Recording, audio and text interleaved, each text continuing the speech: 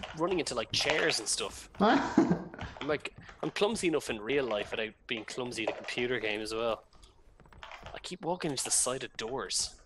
That's the new thing I've done all week. But you should always, if you if you're clumsy and you keep doing that, go. Who put that door there?